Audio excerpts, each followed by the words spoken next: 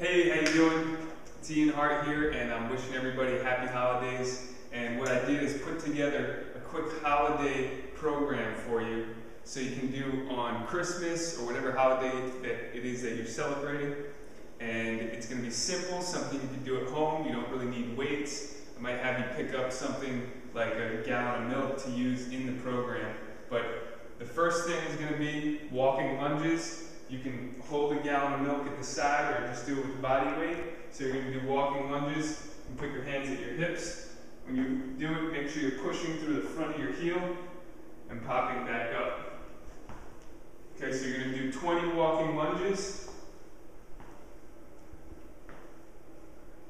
All right, once you do the 20 walking lunges, you're going to get on the floor. You can also take that can of milk, gallon of milk, and do what's called a Turkish get up. Okay, so you're going to hold the gallon up in the air like that. You're going to rock up. This foot's on the floor. You're going to rock up on the opposite elbow. Then put your hand down. And then stand up. And then you're going to get back down the same way. Knee down.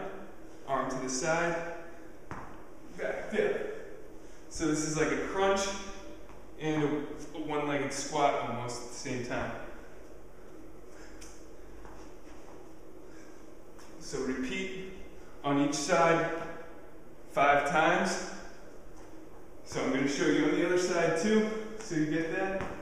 So arm up, rock onto your elbow, leg under, pop up. Back down, knee back, down to your side, kick out, roll back down. So five of those on each side. Then you're going to flip over into a plank. And if you're able to do just a regular plank, you're going to alternate on your arms.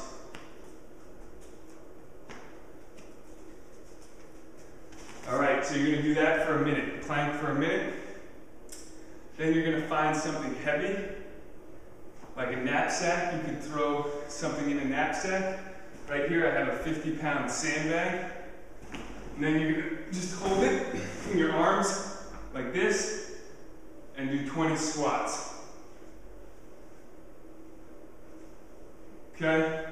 So you're going to do three sets walking lunges, the Turkish get up, the plank with alternating arms if you're able to hold with your elbows for a long time, and then squats with something heavy in your house or whatever you can use.